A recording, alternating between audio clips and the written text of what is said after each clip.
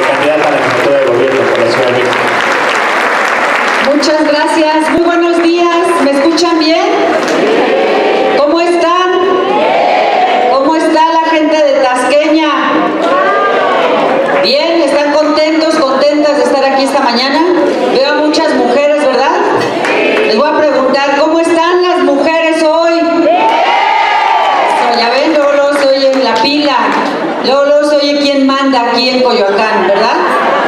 Qué bueno, me da mucho gusto. Muchas gracias de verdad, de corazón, por estarnos regalando un ratito de su tiempo, un día entre semana, a esta hora. No es sencillo reunir a tanta gente para un evento de esta naturaleza. Lo digo al mismo tiempo que reconozco que cuando hay trabajo directo con la gente. Por eso quiero pedirles un aplauso fuerte para este equipo de hombres trabajadores que están conmigo aquí al frente y particularmente para Mauricio Toledo, que es el líder político de este equipo y que es el hombre que efectivamente desde muy joven también empezó a trabajar del lado de la gente. Solo se puede lograr esto cuando hay trabajo real. Y yo les doy las gracias porque este equipo, porque ustedes acudiendo el día de hoy, me dan oportunidad de poder reencontrarme con ustedes. Y digo reencontrarme porque efectivamente, como ya se dijo aquí, nosotros no venimos a ver a la gente solo a la puerta de una candidatura.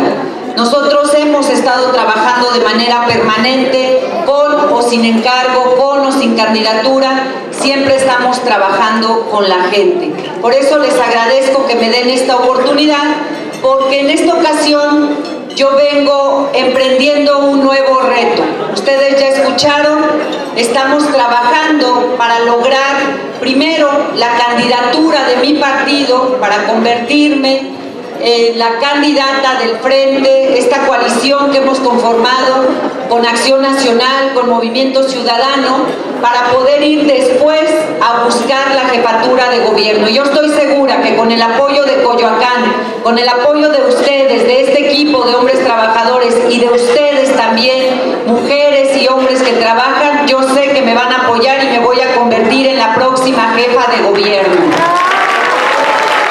¿Verdad que me van a ayudar?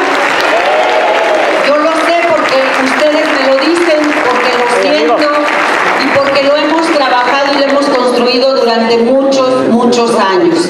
Ustedes saben también que yo soy una mujer de retos y de Ustedes conocen mi historia política porque es una historia pública y ustedes saben que igual que muchas, muchas mujeres que están aquí el día de hoy, que muchos hombres también, igual yo vengo de una familia que también tuvo dificultades para poder sacar a los hijos adelante, como muchas familias lo viven hoy en la ciudad y en el país. Y por eso yo me vi en la necesidad de trabajar desde muy joven, ya lo dijeron aquí, efectivamente, con mucho orgullo, yo trabajo desde los 15 años. Mi mamá se quedó al frente de, los hijos, mi papá falleció y ella, como lo hacen muchas mujeres en la ciudad, ella salió al frente para sacar adelante a sus hijos, dos niñas, bueno, dos mujeres ahora y un hombre. Yo soy la mayor y tuve que ayudar, tuve que trabajar para sacar adelante a mis hermanos para ir a la escuela, porque además les quiero decir que desde muy joven yo ya quería estar en la política. Yo quería ser sobrecargo, yo quería estar también en la política y para eso yo tenía que pagarme la escuela.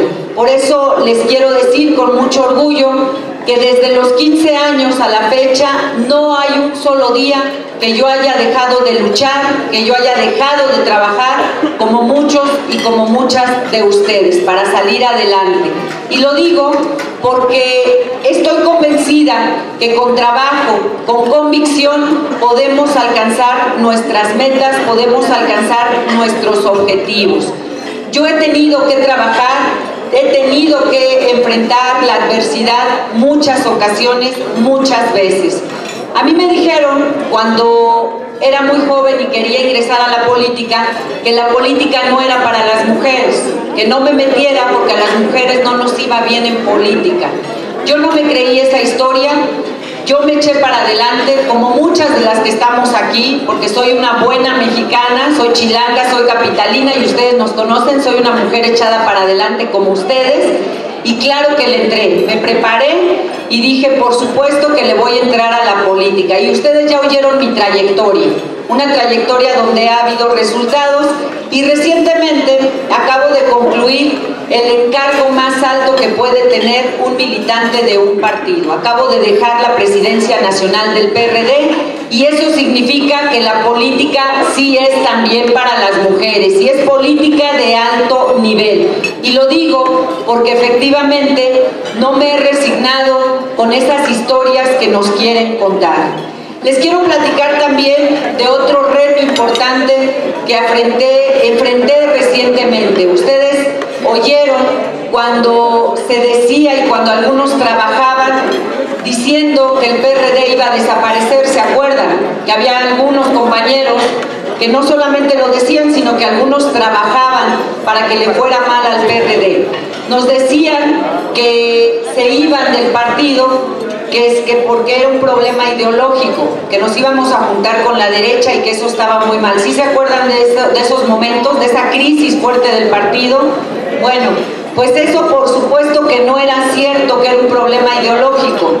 Lo digo porque por dos cosas. Primero, porque los problemas que hoy vive el país no son ideológicos. La inseguridad, la violencia, el desempleo, la educación para los jóvenes, las adicciones, ¿a poco son problemas ideológicos?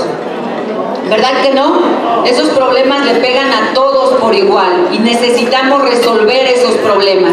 Y la otra razón por la que yo afirmo que no era verdad que se iban porque era un problema ideológico es porque véanlos ahora a todos esos compañeros que se fueron, se fueron al otro proyecto y véanlos, se fueron a juntar con la ultraderecha, ya oyeron ustedes de esa alianza reciente, ¿no? Bueno, pues es la incongruencia absoluta.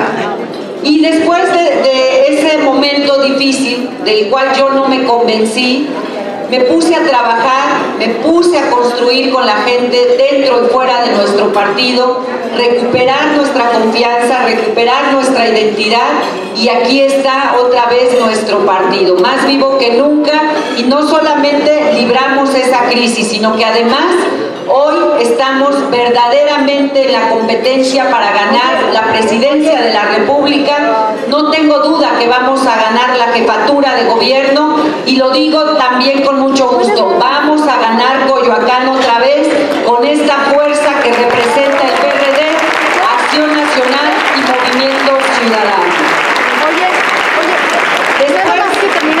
amigas y amigos, dimos otra batalla importante. Nos dijeron que no, no íbamos a lograr conformar esta coalición, el PRD no iba a tener futuro si no se iba a la cola de la izquierda o a la cola de la derecha. Tampoco me creí esa historia, me puse a trabajar y le dimos vida a esta coalición que ustedes ya conocen, una coalición con el PAN, con Movimiento Ciudadano, que tiene muy claro que aunque seamos diferentes, tenemos un mismo objetivo. Ese mismo objetivo es sacar adelante al país, sacar adelante a nuestra ciudad y reconocer que hoy no hay una sola fuerza política por sí sola que pueda resolver los problemas que tiene nuestro país. Están desbordados. Esto ya no lo resuelve una sola persona. Por eso es relevante este trabajo que hicimos para construir este frente. Por eso, como decía hace un momento Mauricio, por eso están muy enojados, porque nos dijeron que el frente no iba a durar mucho. Dijeron algunos, yo los escuché, que nos había durado muy poco el gusto, algunos dijeron que íbamos a sobrevivir en el frente hasta que la candidatura nos dividiera. Y eso tampoco se les hizo. Se quedaron con las ganas porque nos pudimos poner de acuerdo, porque pudimos poner por delante el proyecto y aquí estamos, con una coalición que es verdaderamente una coalición con oportunidad de ganar no solo la presidencia, no solo la jefatura, sino la gran mayoría de las alcaldías aquí en la Ciudad de México. De ese tamaño es lo que logramos hacer recientemente. Por eso, el día de hoy, visitándolos aquí en Coyoacán, yo les digo, convencida, que sé que me va a ir bien en este nuevo reto que estoy emprendiendo. ¿Por qué? Porque tengo trabajo que me respalda porque yo no vengo a decirle a la gente que me interesa la Ciudad de México a partir de que quiero una candidatura. Ahí está mi trabajo, que demuestra que en las buenas y en las malas siempre me ha interesado que le vaya bien a la Ciudad de México y a la gente de la Ciudad de México. Yo no les tengo que platicar solo de lo que voy a hacer, yo les puedo hablar de lo que ya he hecho en esta ciudad con o sin cargo. Ustedes seguramente saben que soy autora de la ley de útiles escolares. Por primera vez, el primer programa que se convirtió en ley, programa social que se convirtió en ley en esta ciudad, lo hicimos nosotros, lo hice yo y es esa ley de útiles escolares. Ese es un primer trabajo que hicimos hace muchos años y que le sigue ayudando y le sigue sirviendo a la gente. Ustedes también habrán escuchado que avanzamos de manera importante en los derechos de las mujeres en esta ciudad. Ustedes saben muy bien, poco se habló porque a algunos no les convenía que se hablara de eso, pero soy autora de una ley que dice con toda claridad que el hombre que le pegue a una mujer lo va a pagar con cárcel. Yo también soy autora de esa ley, desde hace mucho tiempo la hicimos. Y sí les quiero decir, amigas y amigos, que lo que falta ahora y lo que viene ahora que me convierta en jefa de gobierno es que sí se las vamos a hacer efectiva, ¿eh? porque ahí está la ley, pero ahora sí la vamos a aplicar. Se los aviso para que no vayan a decir que no, que no les platicamos con tiempo. Bueno, pues como esas, hay varias, hay muchas, muchas leyes, no iniciativas, leyes que se convirtieron en política pública y que hemos construido desde hace muchos años. Pero yo estoy segura, yo estoy segura con su apoyo que en este nuevo reto que estoy emprendiendo también me va a ir bien, sé que me voy a convertir en jefa de gobierno y les quiero decir con toda claridad cómo vamos a trabajar. Les quiero decir porque algunos, algunos eh, compañeros dicen que cuando yo me convierta en jefe de gobierno, creen que voy a trabajar más por las mujeres. Y yo les he venido diciendo que no crean eso, se los firmo. Claro que voy a trabajar más por las mujeres de esta ciudad porque son las que más lo necesitan. Y si trabajamos y ayudamos a las mujeres, ayudamos a los hombres de la ciudad. Porque si ayudamos a los jóvenes, porque ustedes lo saben bien. Cuando las mujeres tenemos dinero en las manos, el dinero se convierte en alimento, en medicina, en educación, en progreso. La gente crece, las familias crecen y por eso vamos a ayudar a nuestras mujeres de manera muy comprometida. Y les quiero decir además que sí sabemos cómo lo vamos a hacer. Solamente les platico algo muy rápido. La etapa que a mí me va a corresponder encabezar, ahora que con su apoyo me convierta primero en candidata y ahora que me convierta después en jefa de gobierno, es esa etapa donde viene el segundo nivel del desarrollo social, la segunda gran etapa del desarrollo social en la ciudad, se va a encargar de empoderar a los ciudadanos. Vamos a seguir ayudando, vamos a seguir fortaleciendo nuestros programas sociales, muchos de los que ustedes conocen, pero ahora vamos a otra etapa. El programa social más importante para la gente es empleo y educación, ¿no es cierto? ¿No es cierto que lo que quiere la gente es trabajo, capacitación, educación para valerse por sí solos?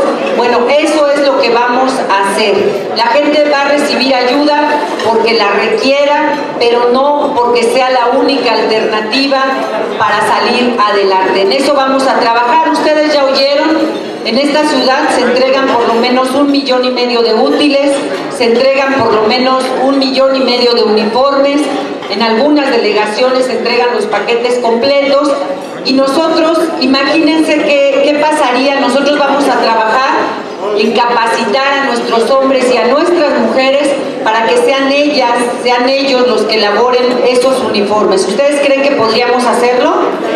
¿Verdad que sí? Con capacitación, organizándolos en cooperativas, ¿a poco no? Desde sus casas, sin descuidar a sus hijos, ¿a poco no podrían tener ingresos adicionales? ¿Verdad que sí?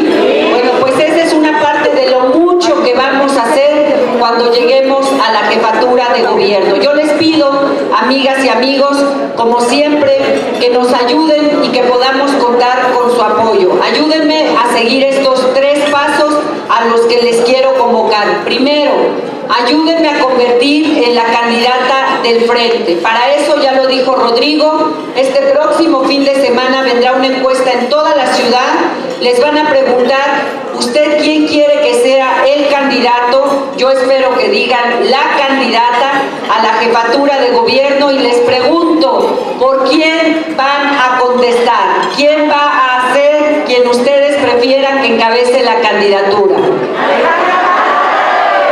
A ver, ¿sí están seguros que eso van a contestar? A los de hasta allá atrás no los escucho, ¿sí es cierto? ¿Eso van a contestar? A ver, otra vez, ¿quién va a ganar esa encuesta? Exacto, con el apoyo de ustedes lo vamos a lograr. Este es el primer paso. Segundo paso, después de que me convierta en candidata, vamos a regresar a Coyoacán. Voy a ir invitada por ustedes a sus colonias, a sus edificios, a sus calles. Vamos a ir a platicar con la gente porque vamos a ganar de manera fuerte la jefatura de gobierno. Vamos a encabezar el primer gobierno de coalición y vamos a trabajar para que le siga yendo bien a la gente de Coyoacán. Esos son los tres pasos que vamos a dar. Los quiero invitar y sé que voy a contar con ustedes, ¿verdad que sí? ¿Nos van a ayudar a ganar?